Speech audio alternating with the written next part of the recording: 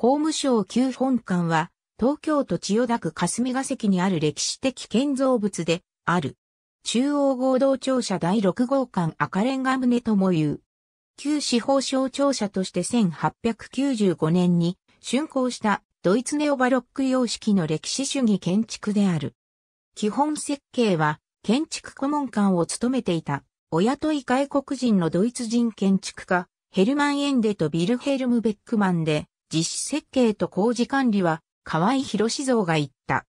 官庁集中計画は頓挫したが、旧大新院庁舎とともに明治の近代公共建築を象徴する建物となった。1923年の関東大震災では、レンガ外壁が鉄材補強されていたことでほぼ無傷で乗り切ったものの、1945年の空襲により内装の大部分と屋根を消失した。1950年に法務府庁舎として再利用されることになるが、それにあたっての改修工事では屋根材等に変更が加えられた。しかし1994年の改修工事では、文化財としての観点から創建時の外観に戻され、ホーム総合研究所及びホーム図書館として利用されるようになった。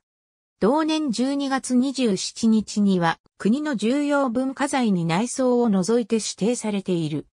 この敷地は江戸時代に米沢藩上杉家藩邸として使われており、その記念碑も建立されている。